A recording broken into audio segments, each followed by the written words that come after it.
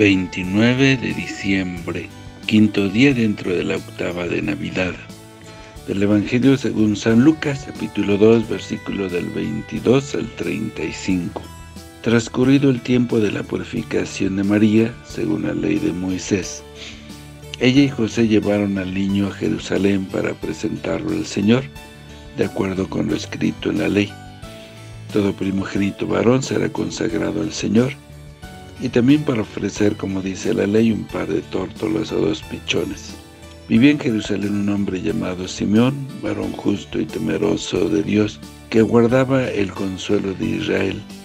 En él moraba el Espíritu Santo, el cual le había revelado que no moriría sin haber visto antes al Mesías del Señor. Movido por el Espíritu, fue al templo y cuando José y María entraban con el niño Jesús, para cumplir con lo prescrito por la ley, Simeón lo tomó en brazos y bendijo a Dios diciendo, Señor, ya puedes dejar morir en paz a tu siervo, según lo que me habías prometido, porque mis ojos han visto a tu Salvador, al que has preparado para bien de todos los pueblos, luz que alumbra las naciones y gloria de tu pueblo Israel. El padre y la madre del niño estaban admirados de semejantes palabras. Simeón los bendijo y a María, la madre de Jesús, le anunció, Este niño ha sido puesto para ruina y resurgimiento de muchos en Israel, como signo que provocará contradicción, para que queden al descubierto los pensamientos de todos los corazones. Y a ti una espada te atravesará el alma. Palabra del Señor. Gloria a ti, Señor Jesús. Los padres de Jesús, fieles a las tradiciones de su pueblo y a lo mandado por el Señor, cumple con los tres ritos establecidos por la ley, la circuncisión del niño a los ocho días de nacido, momento en el cual se imponía el nombre de la criatura, la presentación en el templo por tratarse del primogénito varón y la purificación de la madre. Mediante la circuncisión, el varón israelita queda incorporado al pueblo de la alianza. Se trata, por tanto, de un sello, una marca en la carne como señal de pertenencia. La presentación de Jesús en el templo, cuyo primera parte leemos hoy, nos ayuda a profundizar en el misterio de la encarnación de Dios. Además, Simeón nos dice a nosotros, como se lo dijo a María y a José, que el Mesías es signo de contradicción. Como diría más tarde el mismo Jesús, Él no vino a traer paz, sino división y guerra.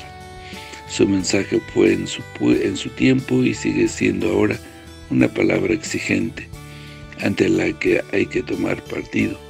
Y en una misma familia nos pueden aceptar a y otras no. Nosotros somos de los que creemos en Cristo Jesús, de los que celebramos la Navidad como fiesta de gracia y de comunión de, de vida con Él. Pero también debemos ser más claramente hijos de la luz y vivir como Él vivió, no solo de palabras, sino de obras. Que el Señor los bendiga.